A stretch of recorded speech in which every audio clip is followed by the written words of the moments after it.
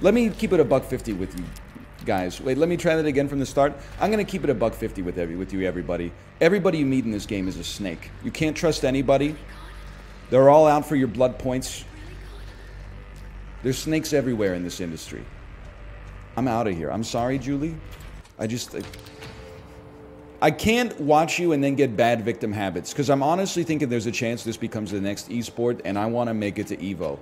I'm going to be Sunny at Evo. It's going to be me versus Daigo and Mango and all the other O's. Take me to the next match. Leffen. I don't know. Again, the company formerly known as Twitter, it's got me pegged in a couple of different ways and none of them are the way that you're thinking based on my verbiage. It thinks I love the National Basketball Association, which I'm learning to. I am learning to. It thinks I'm obsessed with um, legitimizing animated children's films as Kino cinema, which I am not, but I must have clicked on a Spider Verse tweet at some point, and now it just assumes that I want to hear, you know, all about Raya and the Last Dragon, and uh, you know the box office performance of Elemental and stuff like that.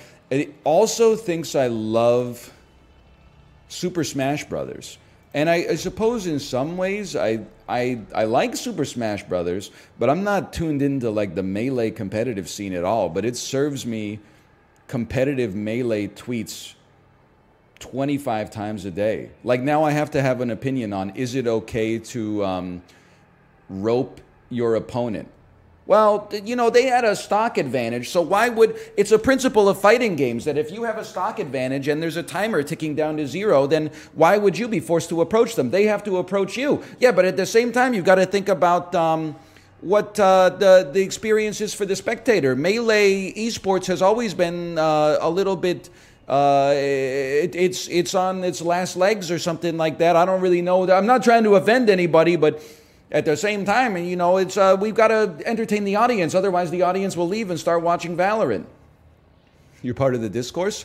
Well, I just think it's funny that everybody's now we've got first off five years ago everybody was talking about maybe we should ban uh, Jigglypuff because HBox's Jigglypuff is so dominant that it makes the, the competitive meta not enjoyable to watch. And now HBox is out here saying we got to ban Steve from Ultimate because uh, Steve is making the competitive Ultimate scene too boring to watch. Like it's just, I don't know what's going on, man. I don't know what any of these things are, but I get served the tweets like a hundred times a day.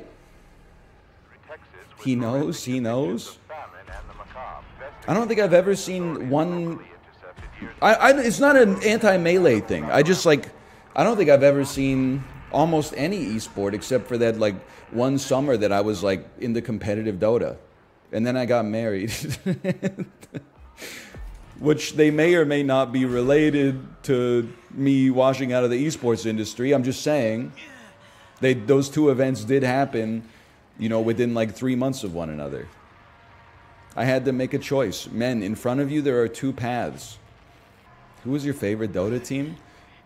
I mean, I'm. You got to remember, I'm old as dirt. I think I was always rooting for Navi because they had Dendi, and I, I enjoyed Dendi's troll tactics. Like, for example, um, doing a vengeful spirit swap to place an opponent on a, an island where they could no longer escape from or fountain hooking, hooking someone with pudge into the fountain. Uh, so they would get killed by your ancient. I guess that's not the ancient, but you know what I mean. Well, I'm, I'm, this is what's called a gravity assist. This is why Steph Curry is so good in the NBA.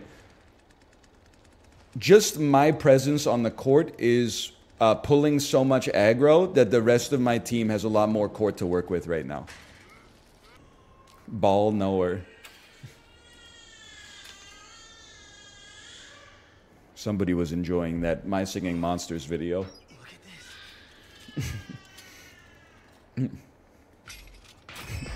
no! Victim noise is awake. That means Grandpa's awakened because somebody got out of the basement, right?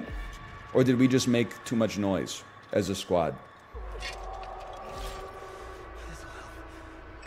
Why I didn't keep still to avoid detection by Grandpa. What's wrong? That's a foundational move in this game.